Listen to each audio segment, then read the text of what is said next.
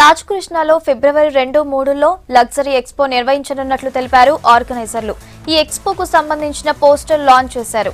ఈ ఎక్స్పోలో లైఫ్ స్టైల్కి చెందిన అన్ని ఉత్పత్తులతో పాటు ఆటోమొబైల్స్కి చెందిన లగ్జరీ కార్లు బైక్స్ అన్ని ఒకే చోట డిస్ప్లే చేస్తామన్నారు.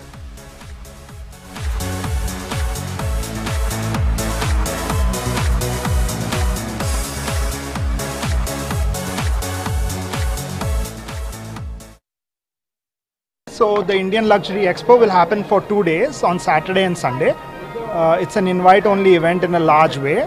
We are donating an X amount of the invitation uh, sold at the entrance to ABC. So the event has around 40 brands. Uh, it's a mix of art, um, cars, bikes, jewelry, fashion, all of that. We have theatre by Tahir Ali Beg, which is done on day two, and day one we are uh, doing a music festival sort of a thing, which is ending with the Deccan Project.